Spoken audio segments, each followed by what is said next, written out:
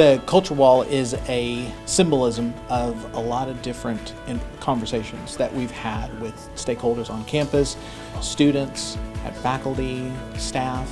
uh, our, some even our employers that we engage with, including some alumni as well, when they talked about their time here at the university, their interactions with the university, and then also some aspiration and goals that they have for career engagement and how we're going to better serve the students that come into our campus.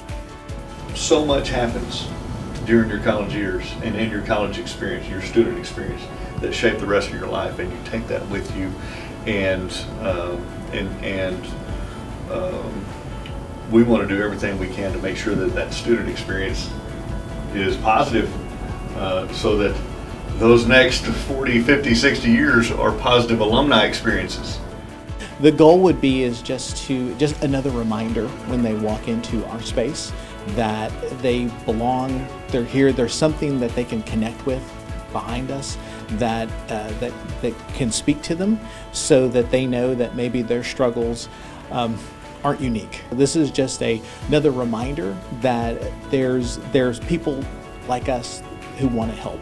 Uh, set the new pace for whatever it is they want to go through in life, um, questions that they might have, connections that will be able to be created with other people who have walked those same steps and have figured it out and are ready to help them out.